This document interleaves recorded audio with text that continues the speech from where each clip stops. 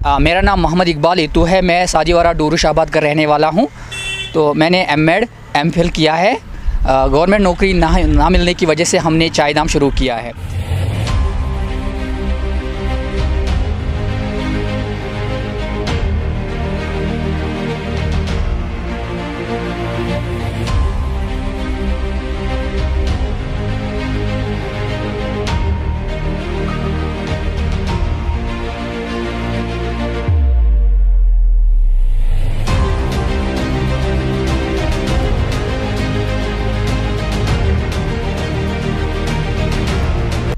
नाम और आप कहाँ से? आ, मेरा नाम मोहम्मद इकबाल इतू है मैं साजीवारा डूरू शाहबाद का रहने वाला हूँ।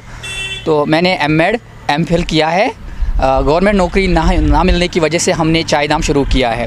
मैंने पाँच साल एज ए कॉन्ट्रेक्चुअल लेक्चरर काम किया है। पाँच साल as a teacher trainer Learning Links Foundation में काम किया है दिल्ली और हिमाचल प्रदेश में। उसके बाद मैंने दो साल एज ए टीचर यहाँ कॉन्ट्रेक्चुअल टीचर काम किया है। दो साल के बाद हमें वहाँ से निकाल दिया गया क्योंकि क्यों निकाल गया है सर आप वो पता नहीं क्योंकि हमारे हमसे पहले जितने भी 2000 नाइनटीन उन्नीस सौ पचानवे में जो भी लोग लगे हैं तो उनको भी परमिट दो हज़ार पाँच में जो बैच लगा उनको परमिट कर दिया गया। अब वजूहत क्या है उन चीज़ों का? उसके वजूहत ये हुआ कि वो उमर उमर उमर अब्दुल्ला साहब जब आए थे तो उन्होंने वो पोस्ट निकाले थे लास्ट में। जब उनका लास्ट मतलब टाइम था तो उन्होंने निकाले थे। शायद उनका ये ख्याल था कि हम उनको आगे परमिट करेंगे। उसके बाद हुकूमत पी डी पी की आई तो उन्होंने सोचा ये एन सी वालों ने किया है तो हम क्यों रखेंगे? तो उन्होंने हमें निकाल दिया। इसका पॉलिटिक्स मतलब, बिल्कुल बिल्कुल। ये पॉलिटिक्स है बाकी कुछ नहीं है। फिर उन्होंने क्या किया? फिर उन्होंने अपने रिश्तेदारों को बैंक में हॉस्ट मतलब हेल्थ में आ, और बाकी सारे डिपार्टमेंटों में एडजस्ट किया है। यानी ईडीपी अगर इसमें देखा जाए तो बस पीडीपी के सारे रिश्तेदार दिखेंगे आपको। बिल्कुल सर। एडीपी एडीआर जिसको हम बोलते हैं बैंक और आ, ये जो है हेल्थ इसमें जितने भी मतलब उनके दौर में लगे हुए हैं ना वो सिर्फ़ पीडीपी के रिश्तेदार दिखेंगे आपको। कल आपके, आपका जो फ़ोटो वायरल हुआ है, उसके मतलब वो सपना कहाँ से आया आपको? मतलब बेरोज़गारी के बाद आपको वो सपना कहाँ से आया फिर? हाँ मैं बाहर एज अ टीचर ट्रेनर काम ही कर रहा था तो वहाँ मैंने ऐसे मतलब टूरिस्ट स्पॉट्स पे इस तरह के वेन्स देखे हैं तो फिर हमारा कॉन्सेप्ट यही आया कि हम भी कश्मीर में शुरू करेंगे इस तरह का तो किसी किसी जगह पर हम ये शुरू करेंगे तो हम अपने टांगों पर खुद खड़े हो जाएँगे, क्योंकि गवर्नमेंट के पास कुछ नहीं है, क्योंकि वो खुद खाली हो चुके हैं। वो टैक्स पे टैक्स लगा रहे जा रहे हैं, लोगों को बर्बाद कर रहे हैं क्योंकि आप देखो आ, कल भी आया है तो अब जितने भी खाने पीने की आइटम्स हैं उन पे भी टैक्स बड़े लोग जो है वो अपने टैक्स बचाने का काम खुद ही जानते हैं। आम लोगों को पता ही नहीं है कि टैक्स कैसे बचाना है क्योंकि वो रोटी लाते हैं कुछ भी लाते हैं तो उस पर टैक्स लगा ही होता है। ये नाम आपने कहाँ से चुना और आपके दिमाग में कहाँ से आया ये नाम? आ, मैंने नाम आ, मतलब कश्मीरी नाम ही रखा है इसका क्योंकि मतलब वो नाम इंसान हमेशा रखना चाहता है जो मतलब ज़ुबान पे जल्दी आ जाए। तो ये कश्मीरी नाम है। तो ये हर किसी के ज़ुबान पे ही है। तो इसको मतलब ज़्यादा मुझे जो आजकल के यूथ ड्रग्स में इन्वॉल्व है आप उनके लिए क्या मैसेज देना चाहते हो सर आ, मैं जितने भी यूथ हैं उनको मैं यही मैसेज देना चाहता हूँ कि आ, अपनी मेहनत करो अपने टांगों पे खड़े हो जाओ। कोई भी मतलब काम ऐसा नहीं है जो नहीं हो सकता है। बस मेहनत करनी है। मेहनत वो करेंगे और वो खुद अपने टांगों पे खड़े हो जाएँगे। गवर्नमेंट पे बिल्कुल डिपेंड ना रहेंगे या किसी और पे भी डिपेंड घर वालों पे भी डिपेंड नहीं रहेंगे जो ड्रग्स वगैरह जो करते हैं। तो उनसे ये मैसेज रहेगी कि अगर वो किसी काम में लग जाएँगे तो वो ड्रग्स वगैरह नहीं करेंगे क्योंकि इंसान तभी ड्रग्स करता है तभी गलत रास्ता इख्तियार कर लेता है जब वो बेकाबेले रहते हैं। घर वालों ने आपने आपको सपोर्ट किया है या नहीं किया है?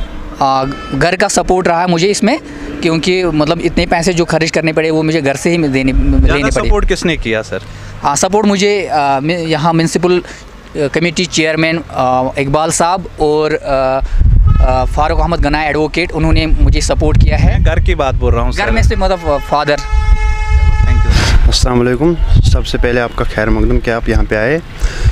सर मेरा नाम आकिब डार है। मैं यहाँ का लोकल हूँ नैडरा डूरुशाबाद में मैं रहता हूँ। और सर मैंने पीएचडी किया है मैथमेटिक्स में रविंद्रनाथ टैगोर यूनिवर्सिटी से। मैं इसी साल का वहाँ से पास आउट हूँ। तो ये वजूहत क्यों रहा? फिर आपने इतना पढ़ा है सर उसके बाद आपने चाय बेचनी शुरू की है सर। जो आपको मालूम है कि जो हमारी यूटी है इसमें जो अनएम्प्लॉयमेंट रेट है वो इंक्रीज़ होती जा रही है। और ऊपर से जो पोस्ट भी निकलते हैं तो उसमें काफ़ी सारे स्कैम देखने को मिले हैं। पिछले फ्रॉम लास्ट टू मंथ्स तो फिर हमने यही सोचा कि हमने भी बहुत सारे एग्ज़ाम दिए थे, लेकिन क्वालिफाई नहीं कर पाए। तो फिर हमने ये सोचा कि इससे बेटर यही रहेगा कि हम अपना ये छोटा मोटा यूनिट स्टार्ट करेंगे, जिससे हम अपनी रोज़मर्रा की ज़िंदगी को आगे बढ़ा सकें। आपके घर में सर कौन कौन है, और आपको ये चाय बेचना क्यों मतलब आपने क्यों ये शुरू किया है, सर? हमने इसलिए शुरू किया क्योंकि हमें लगा कि यहाँ पे जो ये जंक फूड्स जिनको हम बोलते हैं फास्ट फूड्स सॉरी जो फास्ट फूड्स है, वो बहुत ज़्यादा चलते हैं यहाँ पे। इसको यहाँ के जो बच्चे हैं मतलब सब, सभी एज के जो यहाँ पे है, वो इसको पसंद करते हैं ज़्यादा। ऊपर से यहाँ पे जो स्पॉट है हॉस्पिटल यहाँ पे और स्टेडियम है, यहाँ पे बहुत सारे टूर्नामेंट होते हैं तो काफ़ी सारे भीड़ माशाल्लाह यहाँ पे होती है। इसलिए हमने सोचा कि ये हमारे लोकल में है तो फ़र्स्ट ऑफ़ ऑल हम यहाँ पे स्टार्ट करेंगे। वो हमारे लिए बेटर रहेगा। दूसरी बात आ, हमारा जो आइडिया है वो यही है कि इन हम पूरे जम्मू कश्मीर में इसको लॉन्च करेंगे। आ, अगले दो तीन महीने में इन हम पूरे जम्मू कश्मीर में इसको लॉन्च करेंगे। हर एक एक नाम रखा है चाय दाम और आपने ये कहाँ से मतलब आपके दिमाग में ये कहाँ से नाम ये आया है सर? हमारे एक रिलेटिव है एडवोकेट फारूक अहमद गनाई साहब। जिसका हम दिल से शुक्रिया अदा करते हैं कि जिन्होंने हमें बहुत सारी हेल्प की और ये इतना अच्छा आइडिया दिया। और उसी की बदौलत से मतलब जो कुछ भी सारा प्लान था तो उसी का हाथ इसमें रहा है। सर आ, आपके घर वालों ने बहुत सपने देखे थे आपने इतना पढ़ाई किए और उसके बाद आपके घर वालों ने आप पे बहुत सारे पैसे खर्च किए हैं और उसके बाद आपने ये चाय बेचना शुरू किया है। तो आप आपके घर वाले इसमें कितने खुश नज़र आ रहे हैं सर? माशाल्लाह, मैं बहुत खुश हूँ जो मैंने ये यूनिट यहाँ पे खोला है, मैं बहुत खुश हूँ। और मैं आपके माध्यम से थैंक यू बोलना चाहता हूँ अपने पेरेंट्स को जिन्हें मुझे काफ़ी ज़्यादा सपोर्ट किया है इस काम में। और मुझे काफ़ी हेल्प भी कर रहे हैं इस टाइम भी। हौसला मुझे दे रहे हैं कि आज के कोई नहीं अच्छा बिज़नेस आपने खोला है, हम आपके साथ हैं।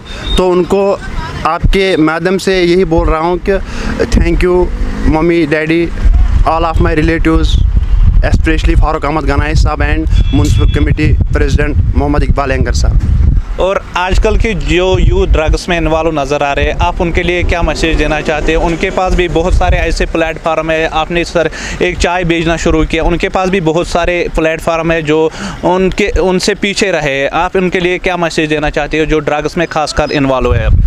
देखिए, हम सबको पता ही है कि जो खास स्पेशली कश्मीर हम बोलेंगे, इसमें जो ड्रग्स की रेट है वो भी इंक्रीज़ होती जा रही है, दिन ब दिन बढ़ती जा रही है।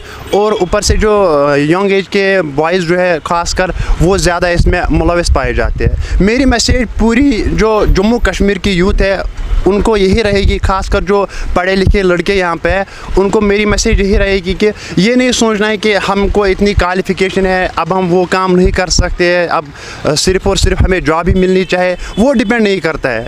क्योंकि जॉब भी तो मिले तो लेकिन मेरे ख्याल से सबको यहाँ पे जॉब नहीं मिल सकती, क्योंकि इतनी वैकेंसीज नहीं निकलती है। आप पिछले एग्ज़ाम की बात करेंगे, चाहे वो फाइनेंस हो, चाहे वो एस हो कम पोस्ट निकलती है और जो स्टूडेंट होते हैं, बहुत सारे अप्लाई करते हैं उसमें कैंडिडेट्स इसलिए मेरी रिक्वेस्ट उनसे, उन नौजवानों से, खासकर जो पढ़े लिखे लड़के हैं, उनसे यही रहेगी कि जैसे हमने छोटे मोटे यूनिट स्टार्ट किए, ऐसे भी बहुत सारे यूनिट अब स्टार्ट कर सकते हो और जिसमें आपको उतना सारा पैसा भी नहीं खर्च करना है, छोटा सा अमाउंट खर्च करना है, बस यही मैसेज रहेगी, कुछ करो अपनी ज़िंदगी में अगर आगे आगे बढ़ने, बढ़ना चाहते हो। आप गवर्नमेंट के लिए क्या मैसेज देना चाहते हो? आजकल के जो यूथ पढ़े लिखे हैं बहुत सारे ऐसे लोग हैं जो पढ़े लिखे हैं फिर उनको रोज़गार नहीं मिलते आप उनके लिए क्या मैसेज देना चाहते मेरी मैसेज गवर्नमेंट से यही रहेगी कि देखिए मतलब आ, जैसे कि मेरे पेरेंट्स है माशाल्लाह वो गवर्नमेंट एम्प्लॉय है तो आ, इतने भी बहुत सारे पेरेंट्स होंगे जो दिन में मजदूरी करते हैं और फिर अपने बच्चों को पढ़ाते हैं। गवर्नमेंट को चाहिए कि कुछ ऐसा स्टेप ले कम से कम 30-40 परसेंट जो लड़के हैं, वो एडजस्ट हो जाए इसमें। और जो आपने वो पिछले दो तीन महीने से वो स्कैम किया है, वो ना होए। अच्छे से एग्ज़ाम किया जाए, ताकि जो गरीब ख़ानदान से ताल्लुक़ रखते हैं लड़के, वो आराम से एडजस्ट हो जाए। Thank you so much thank you